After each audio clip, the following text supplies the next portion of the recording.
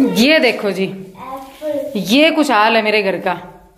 और ये दोनों खतरनाक प्राणी जो है ना ये दोनों खतरनाक प्राणी मैंने सारा अरेंज किया था ये पता है पर्दे वर्दे? हम्म, हम्म। तो क्या है? ये देख लो। मतलब दिवाली की सारी डेकोरेशन मेरे घर में हो रही है। हमने लग के दिवाली की सफ़ाई की ये दरवाला पूरा एरिया जो है ना ये अरेंज कर दिया था। पर्दा सही कर दे बेटा। पर्दा लगा दिया था सोफे का लुक इधर रख कर दिया मतलब इसकी जगह जो थी ना वो चेंज कर दी थोड़ा लुक चेंज हो जाए उनका। वो पर्दा लगा दिया था अलमारियों में पर्दे लगा दिए थे। आप लोगों की कमेंट्स पे आए थे दीदी कपड़े दिखते हैं तो मैंने पर्दे लगा दिए थे। सारा इधर का क्लीन हो चुका था लेकिन अब अगर आपको हालात दिखाऊँ ना मेरे घर की दिवाली आई नहीं है? सफ़ाई कब की थी अपन ने? कल की थी ना वीरू कल। कल की फिर हाल देखो। और यहाँ तुम सा जानना चाहे मत जानना बरोबर है सब। बराबर है। भाई है ना ये पूरी तरीके से हेल्प कर रहा है लेकिन मेरे खुद ये जो है ना जानवर दो मेरे घर में ये दोनों ऐसे हैं ये देखो। काट पीट के और ये यहाँ पे डेकोरेशन कर रहा है अपने हिसाब से है ना? डेकोरेशन कर रहा है। भाई नू बता मतलब ये बता कि थोड़ी देर पहले दिवाली की स्पेलिंग पूछ रहा था जब क्या वाक्य हुआ था? मैं ये पूछ रहा था शिवांश दिवाली की मम्मी दिवाली की स्पेलिंग बताओ। मम्मी दिवाली की स्पेलिंग बताओ। उसने बोली छोटी एबीसीडी मैंने बोला बड़ी एबीसीडी बताओ और जैसे डी बोला ना मैंने पापा को बोला अरे बड़ी एबीसीडी बताओ बताओ तो। अब बड़ी एबीसीडी में स्पेलिंग बता। दिवाली की बड़ी एबीसीडी में स्पेलिंग बता। दिवाली की बड़ी। अभी भी यही लग रहा है कि हमने स्पेलिंग गलत बताई थी। ये बड़ी एबीसीडी में पूछ रहा था मैंने छोटी एबीसीडी में बता दी थी। ये अभी भी अपनी बात पे अड़ी गई इसको कोई फ़र्क नहीं पड़ा है। ठीक है? ये बना रहा था पता है क्या? एक बार छोड़। ये डेकोरेशन मत कर। ये बना रहा था ये। इसको लिखना था ये हैप्पी दिवाली। तो बाद में इसने लिखा जब इसके पास खड़े होके बताई हाँ बड़ी एबीसीडी है अब लिखता जा जब इसने लिखा है। नहीं तो अभी भी इसको ये लग रहा है कि हमने छोटी एबीसीडी में स्पेलिंग बताई नहीं है बोलने में छोटी एबीसीडी किस किस को बोलनी आती है? आती हो बड़ी एबीसीडी तो इसको बताना ज़रूर हाँ। बड़ी एबीसीडी में स्पेलिंग बड़ी एबीसीडी में स्पेलिंग बताना भाई। और रात के बज गए साढ़े नौ। कहा है शर्मा जी? शर्मा जी तो गए छोड़ गायब है। जब भी तो उदास सुबह से हमने ब्लॉगिंग भी नहीं की फ़ोन को हाथ ही नहीं लगाया। मतलब उसमें हाथ तो लगाया लेकिन बाकी काम किए। तो सुबह से हमने कोई व्लॉगिंग नहीं की कोई व्लॉग शूट नहीं किया। आप जाके मैंने सोचा कैमरा उठाते हैं। साढ़े नौ बज गए शर्मा जी अब निकले हैं हरियाणा से। अब वो बॉर्डर पार पे पहुँचे हैं। अब यहाँ इस बॉर्डर में घुसने में मतलब हमारे एरिया में आने में कितना टाइम लगेगा? नहीं पता कोई और वो कल आने की बात की थी थोड़ी ले रखी है मैंने पहले ये केल ले रखी है। उसको अब कहीं नहीं जाने देंगे दीपावली तक। नहीं बैठा उसको ऐसे लगा के और ऐसे फिट कर देंगे कहीं नहीं जाने का ठीक है? हाँ। ये कोई मतलब होता है बताओ इस टाइम आने का। मैंने कहा या तो रुक जाओ सुबह जाना। लेकिन वो भी बात नहीं जची। आना है तो अभी आना है। रुकना भी नहीं है, काम छोड़ दो, अभी सुबह कर लेंगे, ये लोग अपने आप करवा लेंगे, वो भी नहीं छोड़ना। अब देखते हैं कब पहुँचते हैं। और फ़िलहाल मैं सोच रही हूँ कुछ अलग करने का, देखते हैं होता है क्या।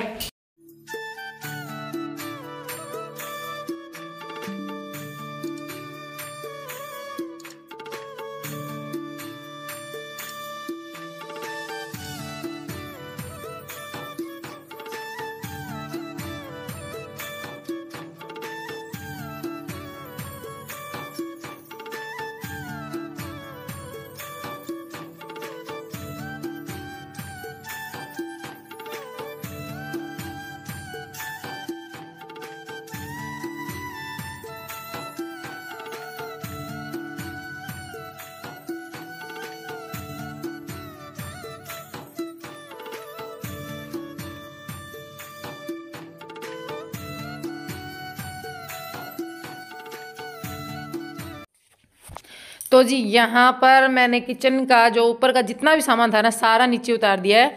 और आज जो मतलब दिवाली पर जो भी सफ़ाई होती है ना यार, आप सबको पता ही है, एकदम हम लोग सोचते हैं कि अच्छे से डीप क्लीनिंग करें और उसके बाद में ना, एक जो फ्रेशनेस घर के अंदर आती है ना, वो बस, क्या बताऊँ आप लोगों को, आप खुद महसूस कर सकते हो कितना अच्छा लगता है। तो बस इसीलिए मैंने सारा सामान नीचे उतार करके और बर्तन में पहले ही सारे क्लीन करके ले आई हूँ। जो बर्तन मतलब जिनके ऊपर पुराने बर्तन मिट्टी मिट्टी जम जाती है ना, जो यूज़ में नहीं आते, वो सारे। बस एक ये जो ऊपर कढ़ाई रखी है ना, इसको छोड़ दिया था, क्योंकि ये वाली कढ़ाई जो है ना, वो यूज़ ही नहीं होती।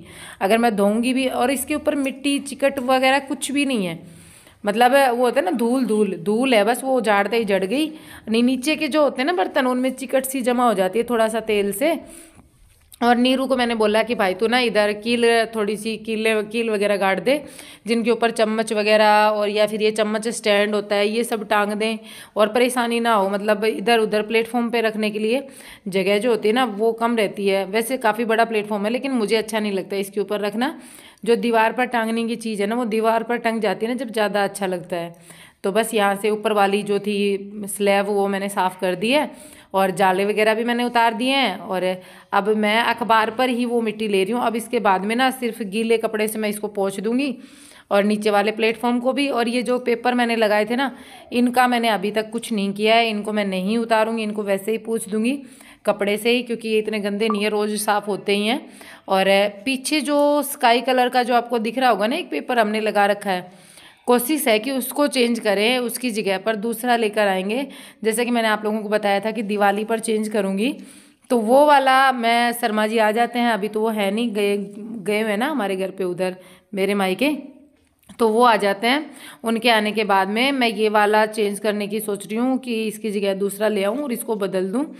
और ये वाला वैसे भी अखबार जैसा इसका पेपर था तो वो प्लास्टिक में आएगा ना, वो ज़्यादा अच्छा रहेगा।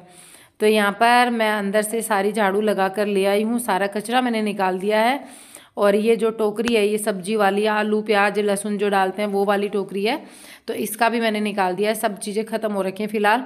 बस मेरा ये था कि दिवाली की शॉपिंग करने जाऊँगी ना, जब भी मैं सारी चीज़ें लेकर आऊँगी ताकि सब कुछ अच्छे से साफ़ और यहाँ पर साढ़े ग्यारह, पौने बारह का टाइम हो रखा है। और इस टाइम शर्मा जी पहुँचे हैं, उधर से महेंद्रगढ़ गए थे ना, वहाँ से। तो जी, ये है नेक्स्ट डे मॉर्निंग बस मैंने उस काम को वहीं पर छोड़ दिया था रात को।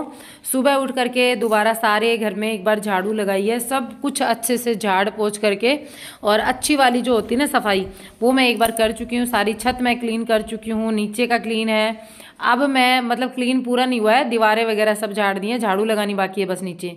अब मैं ये डिब्बे जो थे ना, इनके मसाले वगैरह जो इनके अंदर थे, वो तो मैंने निकाल के चारपाई पे रख दिए हैं और अब मैं लगाने लगी हूँ। मतलब इनको धोने के लिए बैठी हूँ। ये सारे धोने के लिए, जैसे पानी आ जाएगा ना, अब ताज़ा पानी आएगा तो अच्छे से रगड़ के इनको धोऊँगी ना तो इनमें एक अलग ही ऐसा लगेगा जैसे अभी नए लिए हैं। तो अलग ही फीलिंग आएगी किचन एकदम प्यारा सा और चमकता हुआ सा लगेगा।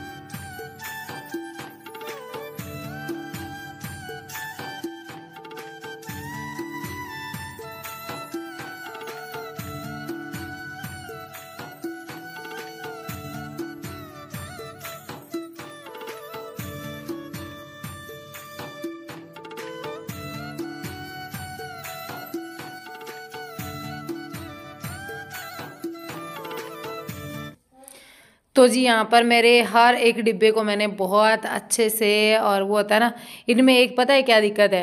कि इनका अगर मैं जूने से रगड़ूँगी तो ऊपर स्क्रैच हो जाएँगे और अगर मैं आराम से रगड़ूँगी तो इनकी चिकट नहीं उतरेगी। तो मैंने इनको अच्छे से पहले एक बार सबसे भिगोया है अच्छे से और गुनगुना पानी लिया है। अब गुनगुने पानी से धीरे धीरे धीरे धीरे वो हो जाएँगे, क्या बोलते हैं? क्लीन हो जाएँगे एकदम बढ़िया से। तो और मैंने इनको धो करके लास्ट में जब रखा ना, जब मेरे को एकदम ऐसे लग रहा था जैसे हाँ सच में एकदम नए हो गए। और शर्मा जी और नीरू जो है, वो घर के बाहर की सफ़ाई करके आ चुके हैं और बीच में अब ये पानी लगा कर नैनी को दे दिया है। कहने का मतलब ये है कि दिवाली है तो घर के अंदर, घर के बाहर और सब जगह एकदम चकाचक जब हो जाता है ना, तब आता है जो सुकून क्या बताऊँ मतलब त्यौहार वाली फीलिंग तो तभी आती है। सारा घर जब साफ़ हो जाता है, सारे दीवारें, सारे कपड़े धुले धुले अलमारियाँ एकदम अरेंज किचन एकदम साफ़ सुथरी सी, और फिर हम लेकर आते हैं दिवाली की शॉपिंग करके मतलब दिवाली का जो सामान होता है वो वो शॉपिंग करके लाते हैं। तो फिर दिवाली वाले दिन अच्छी अच्छी चीज़ें बनाते हैं, पकवान बनाते हैं। कितना मज़ा आता है ना सोच कर ही। मतलब यूँ लगता है कि हाँ सच में एक अलग वाली फीलिंग आती है। ऐसी तो किसी शादी ब्याह में भी नहीं आती। दिवाली पे मुझे तो इतनी अच्छी फीलिंग आती है। और दिवाली की वो जो होते हैं ना मार्केट से जाते हैं जब डेकोरेशन का जो सामान लेकर आते हैं। बस पूछो ही मत उसके तो मेरे लिए कि, कितनी बड़ी बात है। मैं बहुत दिन पहले ही तैयारियाँ करने लग जाती हूँ हाँ ऐसे लाऊँगी वैसे लाऊँगी। लेकिन अब की बार देखते हैं क्या कुछ लेके आते हैं क्योंकि इस त्यौहार पर इतना बड़ा घाटा भी तो लग गया हम दिवाली के पास ही। कोई दिक्कत नहीं है चलो जितना हो सकेगा उतना तो करेंगे ही। तो रखिए फिर ठीक है फिर मैं करती हूँ बाय आप लोगों